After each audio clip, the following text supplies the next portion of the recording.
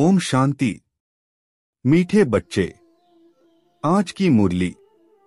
17 फरवरी 2024 दिन शनिवार की प्रातः मुरली।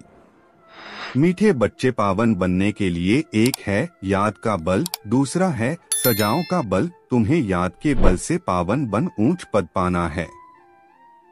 प्रश्न, बाप रूहानी सर्जन है, वह तुम्हें कौन सा धीरज देने आए हैं?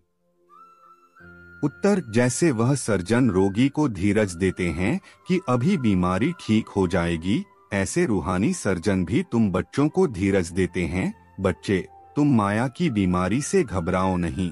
सर्जन दवा देते हैं तो यह बीमारियाँ सब बाहर निकलेंगी, जो ख्यालात अज्ञान में भी नहीं आए होंगे, आएँगे। लेकिन तुम्हें सब सहन करना है। थोड़ा मेहनत करो। तुम्हारे अब सुख के दिन आए कि आए। ओम शांति। बेहद का बाप सभी बच्चों को समझाते हैं, तुम सबको पैगाम पहुंचाना है कि अब बाप आए हैं। बाप धीरज दे रहे हैं, क्योंकि भक्ति मार्ग में बुलाते हैं, बाबा आओ, लिबरेट करो, दुख से छुड़ाओ तो बाप धीरज देते हैं, बाकी थोड़े रोज हैं। कोई की बीमारी छूटने पर होती है तो कहते हैं, अब ठीक हो जाएगी। बच्चे भी समझते हैं कि इस चीची दुनिया में बाकी थोड़ा रोज है, फिर हम नई दुनिया में जाएँगे। उसके लिए हमको लायक बनना है, फिर कोई भी रोग आदि तुमको नहीं सताएँगे। बाप धैर्य देकर कहते हैं, थोड़ी मेहनत करो। और कोई नहीं जो ऐसे धीरज दे। तुम ही तमो प्रधान हो गए हो। अब बाप आए हैं तुमको फिर से सतो प्रधान बनाने के लिए। अभी सभी आत्माएँ पवित्र बन जाएँगी, कोई योग बल से, कोई सजाओं के बल से। सजाओं का भी बल है ना। सजाओं से जो पवित्र बनेंगे, उनका पद कम हो जाएगा। तुम बच्चों को श्रीमत मिलती रहती है। बाप कहते हैं, मामे कम याद करो। तुम्हारे सब पाप भस्म हो जाएँगे। अगर याद नहीं करेंगे तो पाप सौ गुना बन जाएगा क्योंकि पाप आत्मा बन तुम मेरी निंदा कराते हो। मनुष्य कहेंगे, इनको ईश्वर ऐसी मत देते हैं, जो आसुरी चलन दिखाते हैं। लाही चाढ़ी उतराव चढ़ाव भी होता है ना। बच्चे हार भी खाते हैं। अच्छे अच्छे बच्चे भी हार खाते हैं।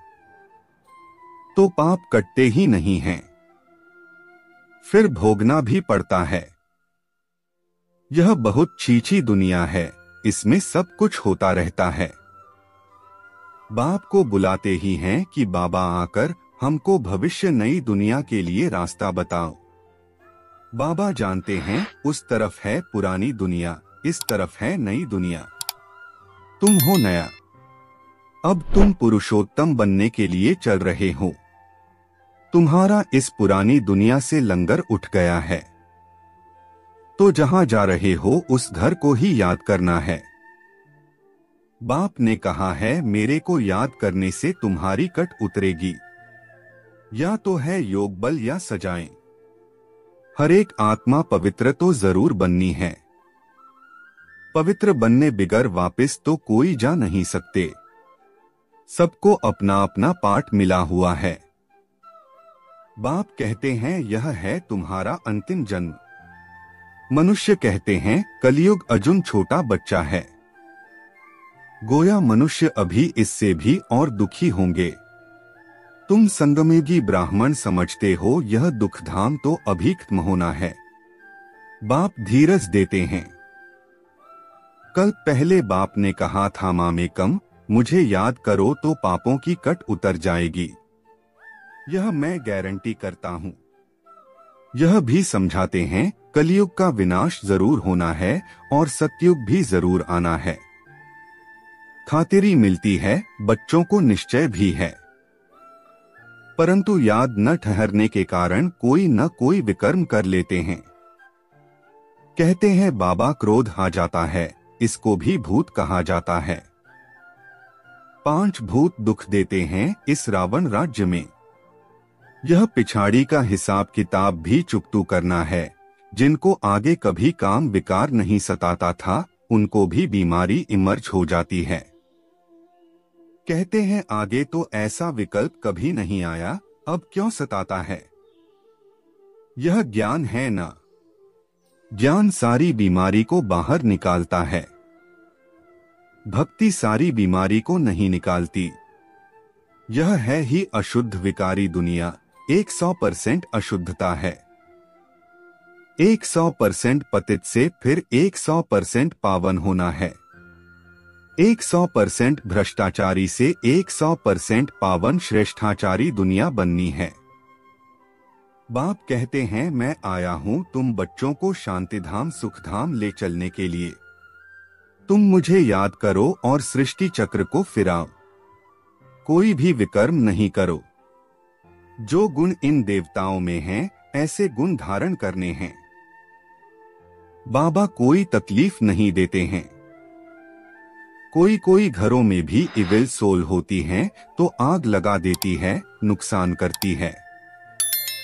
इस समय मनुष्य ही सब इविल हैं न। स्थूल में भी कर्म भोग होता है। आत्मा एक दो को दुख देती है शरीर द्वारा। शरीर नहीं है तो भी दुख देती है। बच्चों ने देखा है, जिसको घोष्ट कहते हैं, वह सफ़ेद छाया मुआफिक देखने में आते हैं। परंतु उनका कुछ ख्याल नहीं करना होता है। तुम जितना बाप को याद करेंगे, उतना यह सब कम होते जाएँगे। यह भी हिसाब किताब है ना। घर में बच्चियाँ कहती हैं, हम पवित्र रहना चाहती हैं। यह आत्मा कहती है। और जिनमें ज्ञान नहीं है, वह कहते हैं, पवित्र नहीं बनो। फिर झगड़ा हो पड़ता है। कितना हंगामा होता है। अब तुम पवित्र आत्मा बन रहे हो। वह है अपवित्र तो दुख देते हैं। है तो आत्माना। उनको कहा जाता है, इविल आत्मा। शरीर से भी तो बिगर शरीर भी दुख देते हैं। ज्ञान तो सहज है।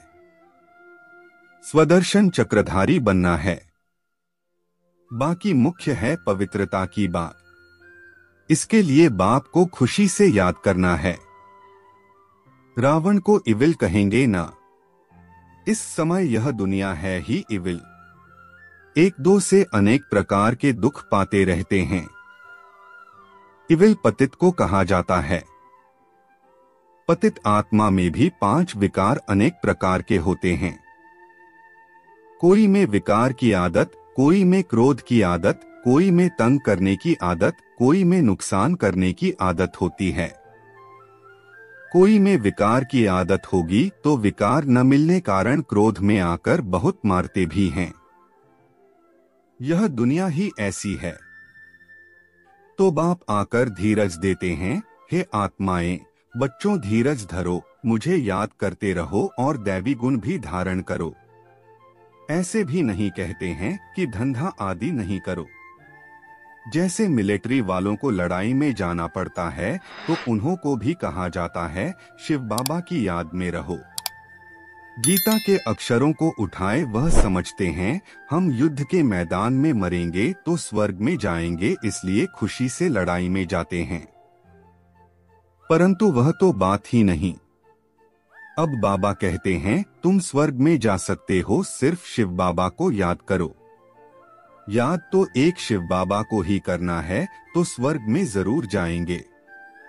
जो भी आते हैं, भल फिर जाकर पतित बनते हैं तो भी स्वर्ग में ज़रूर आएँगे। सजाएँ खाकर पावन बनकर फिर भी आएँगे ज़रूर। बाप रहमदिल है ना। बाप समझाते हैं, कोई विकर्म न करो तो विकर्माजीत बनेंगे। यह लक्ष्मी नारायण विकर्माजीत हैं ना। फिर रावण राज्य में विकर्मी बन जाते हैं। विक्रम संवत शुरू होता है ना। मनुष्यों को तो कुछ भी पता नहीं है। तुम बच्चे अभी जानते हो यह लक्ष्मी नारायण विकर्माजीत बने हैं। कहेंगे विकर्माजीत नंबर वन फिर 2500 वर्ष के बाद विक्रम संवत शुरू होता है। मोहजीत राजा की कहानी है ना। बाप कहते हैं नष्टो मोहा बनो। मामे कम याद करो तो पाप कटेंगे। जो 2500 वर्ष में पाप हुए हैं, वह 50 से 60 वर्ष में तुम स्वयं को सतोप्रधान बना सकते हो।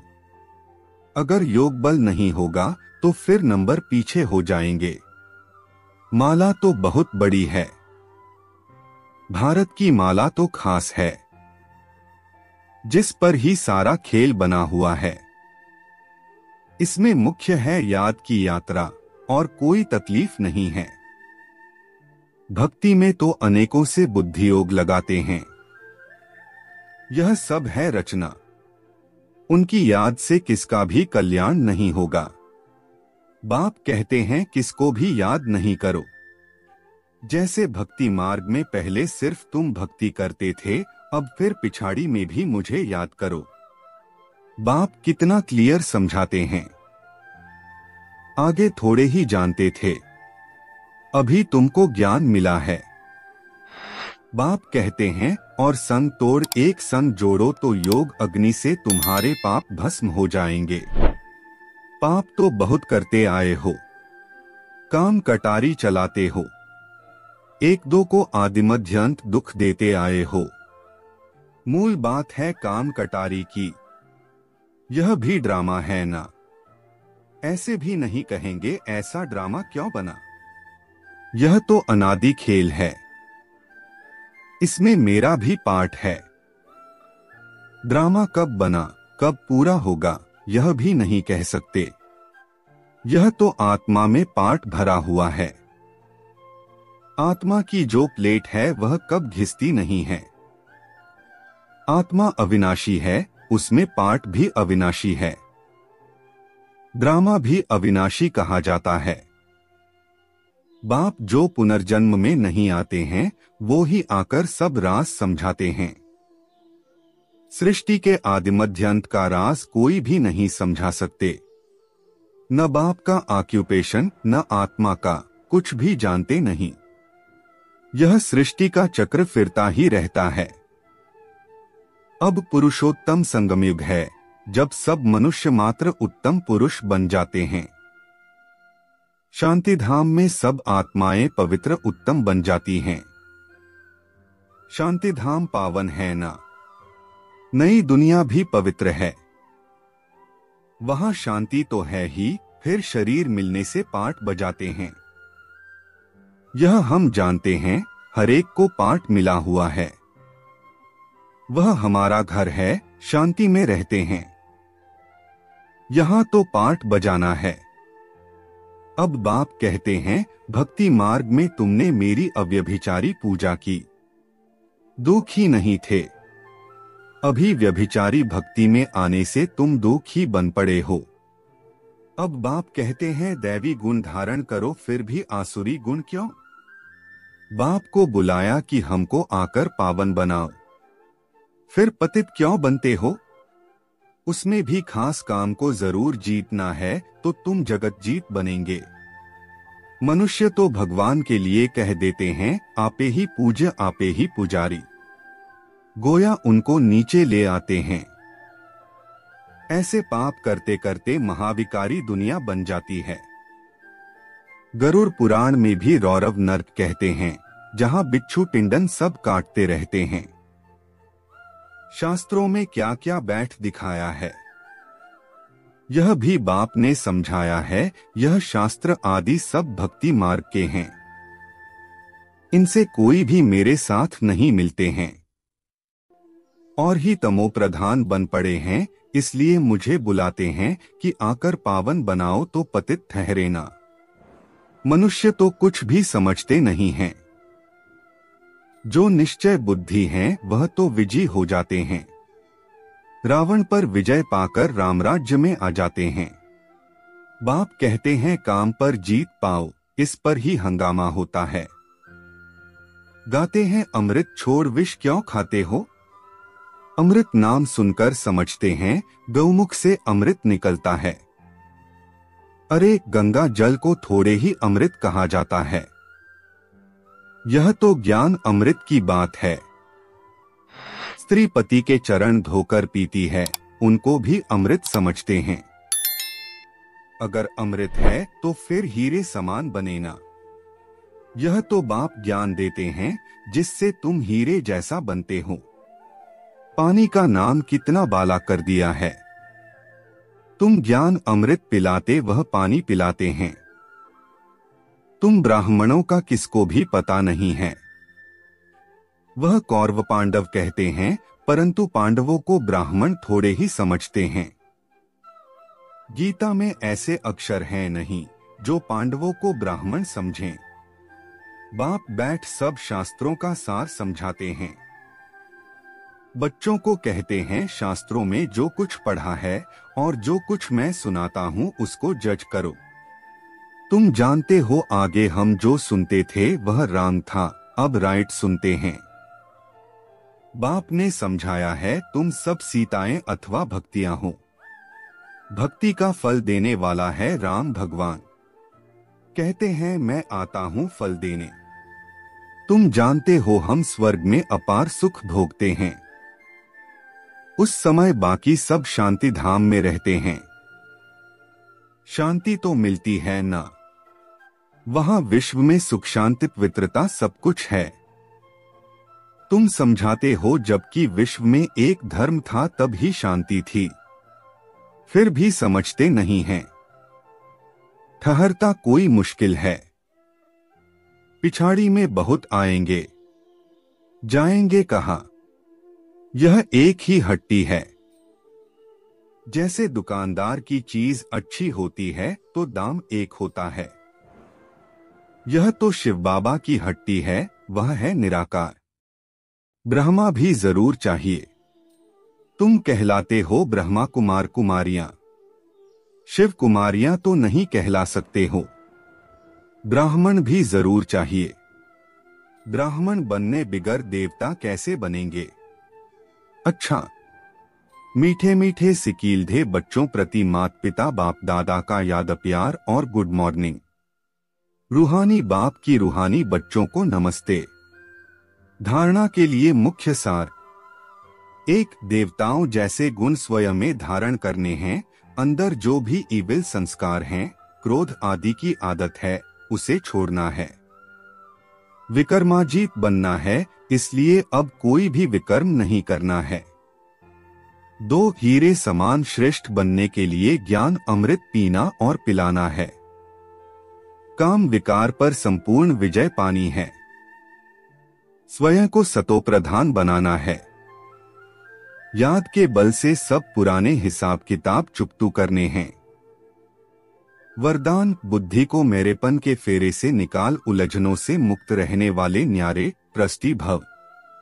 जब बुद्धि कहाँ भी उलझन में आती है तो समझ लो ज़रूर कोई न कोई मेरापन है। जहाँ मेरा आया वहाँ बुद्धि का फेरा हुआ। गृहस्थी बनकर सोचने से गड़बड़ होती है, इसलिए बिल्कुल न्यारे और ट्रस्टी बन जाओ। ये मेरापन मेरा नाम खराब होगा, मेरी ग्लानी होगी। यह सोचना ही उलझना है। फिर जितना सुलझाने की कोशिश करेंगे, उतना उलझते जाएँगे, इसलिए ट्रस्टी बन इन उलझनों से मुक्त हो जाओ। भगवान के बच्चे कभी उलझनों में नहीं आ सकते। स्लोगन, बड़े बाप के बच्चे हो, इसलिए न तो छोटी दिल करो और न छोटी बातों में घबराओ।